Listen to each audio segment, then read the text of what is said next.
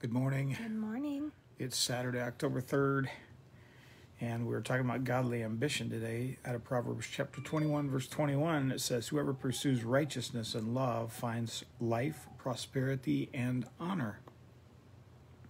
Kaylene's going to open us in prayer this morning.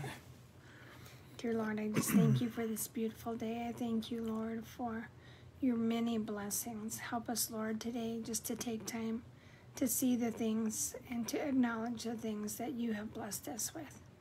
Thank you, Lord, for uh, just your word this morning that we can stand on it and it can help us to be strong and stand against the schemes of the devil.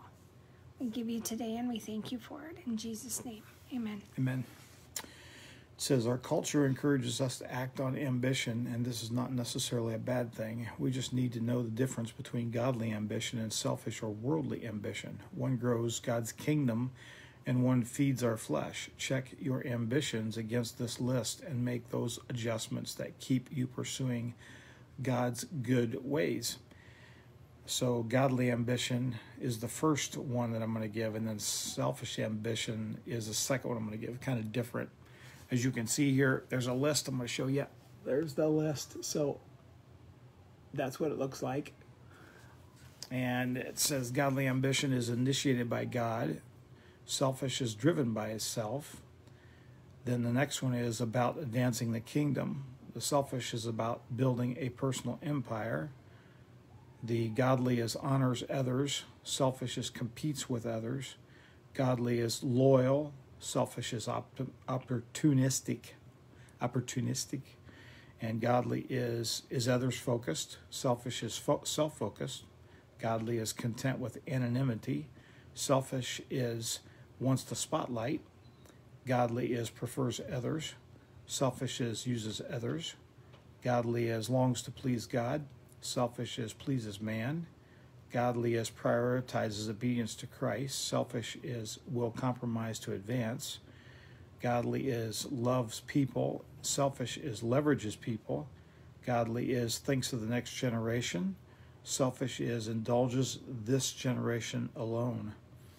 One kind of ambition destroys, and other brings life and love beyond your own lifetime. As you pursue your ambitions, constantly evaluate and bring them before God to be tuned to Him it will lead to something greater than anything you can imagine on your own. Lord, I set myself or I set my heart to please you and pursue your godly ambition for my life. Thank you for showing me your perfect path.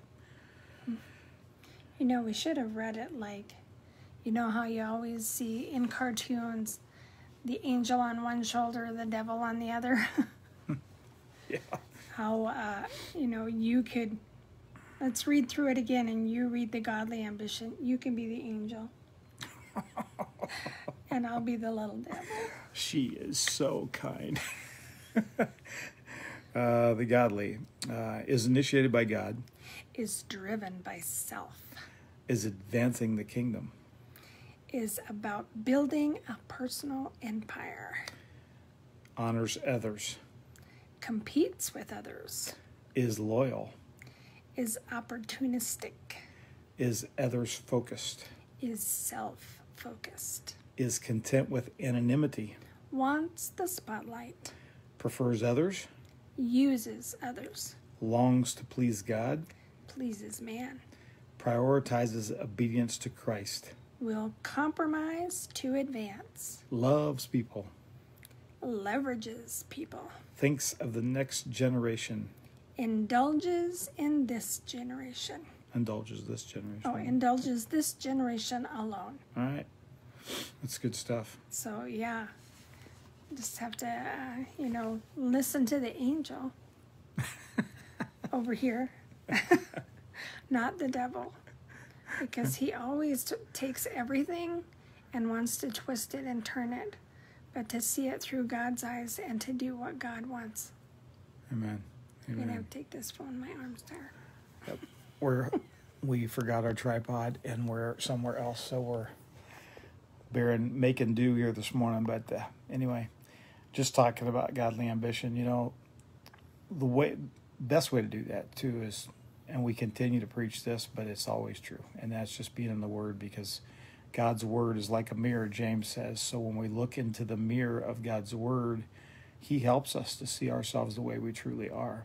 So as we're studying and praying and reading God's word, He helps us see those things. So, you know, spend time in God's word and do what needs to be done there, and God will make it very clear that, you know, in our word as we're studying and stuff that he'll keep our ambition on the right track so mm-hmm. and our heart in the right track because that's really what what really matters is our heart you know loving others like it i think it said here it does uh, godly ambition loves people and the other leverages people you know we want to love people and we want to we want to reach people and we want to uh, speak into people's lives life and and not lead them down a path that they feel used so so Anyway, let's pray and we're going to close. It's good to be with you guys this morning. Thanks for jumping on and spending time with us. So let's pray. Father, we thank you for today. Thank you, God, for your word. And we pray today, too, that, Lord, that you would just look into our heart, that you would look deep inside of us and see if there, you know, David prayed it this way. He said, Pray and see if there's any wicked way in me. And selfish ambition is a wicked way. It is exactly that. It's selfish.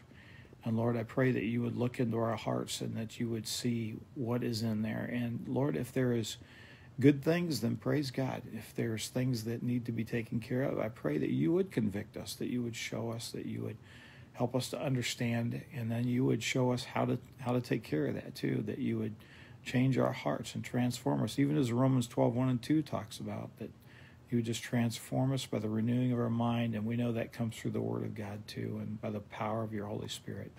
So we thank you for that, and just bless your people today on this great Saturday. So we're into the weekend. I pray that you would just give them a great day to be with family. Hopefully, you know, there's not a lot of people after work. If they do, then Lord, that you would uh, just bless them at work, and when they get to be at home with their families, I pray that you bless that time, multiply it so that it's. Uh, a good thing for them that just brings life to them. And uh, just help us as we go into this Sunday, too. Uh, time to worship you and to be in the house of the Lord and to fellowship, to lift your name up, Lord. Just bless your people now. May your face shine upon them. May your countenance be lifted up to them. Guide them, each one, in your righteous paths of truth, Lord. And we ask it in Jesus' name. Amen. Amen. Good to be with you guys. God bless you. Thanks for joining us on this Saturday. We will talk to you on Monday. Join us if you can't make it to church. Join us online tomorrow and on Facebook. God bless you. Have a great day.